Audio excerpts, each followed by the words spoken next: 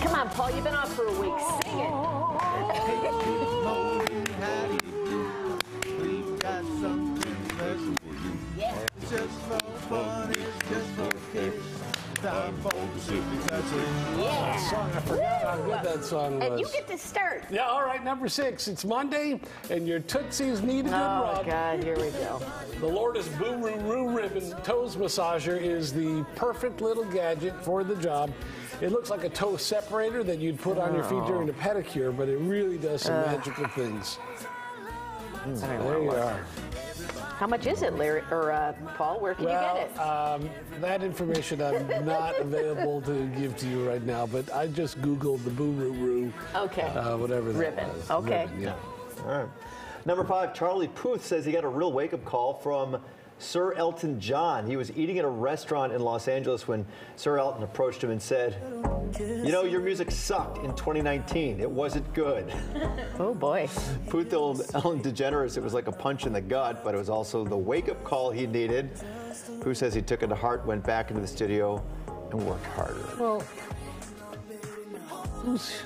Well, Elton John's got a good track record. Maybe everyone in your inner circle is telling you everything's great. Yeah. Maybe maybe there was a better way to say it. Right. Maybe well, sometimes you need some direct honesty, though. Yes. You know? Yeah. but from someone you know. It maybe. But I mean, sometimes but the people are you- always telling you how bad you are all the time. And I believe them.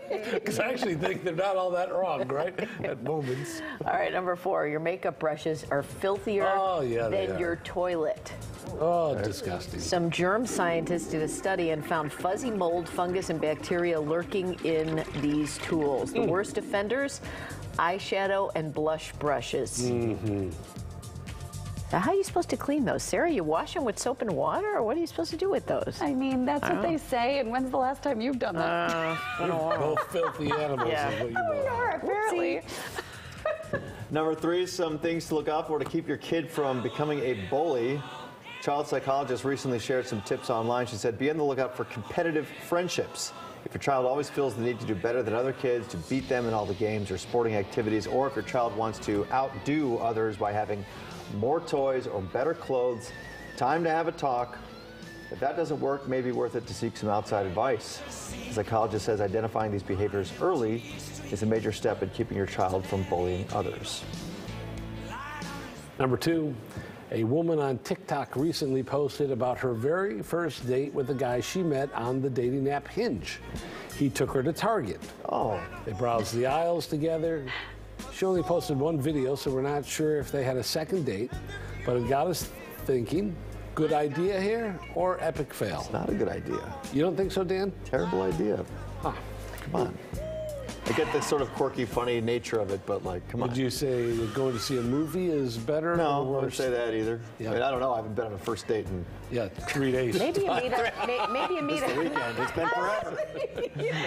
Oh, Back then, it was not trendy. yeah. Right. I don't know, maybe a coffee or something where you talk for a few minutes. But I, is the idea that you're just meeting somewhere where there's no, you don't even want to buy coffee for the person, or I mean, just oh, I have to pick up a couple of things. They have very good raspberries there, and Are they buying me stuff at Target? I have to Yeah. get a, roll, I'm couple rolls of toilet Yeah. paper, Yeah. and uh, it is odd. But you know what? The, you know what? If you, if you click with someone, it doesn't matter and where you are. went. yeah, that's right. Never know. That's right. All right, number one, gardening isn't easy. So here's a fun hack courtesy of the folks at Gardening Express. They say flat pop or soda is a great alternative to weed killers.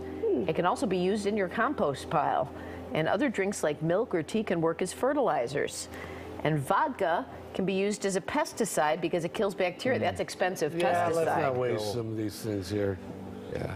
Oh, there we go. That's your six that was at a good six. six. six. That was good. Good to be back. Oh, yeah. I forgot how much I miss this place. Uh, here's the uh, forecast for today.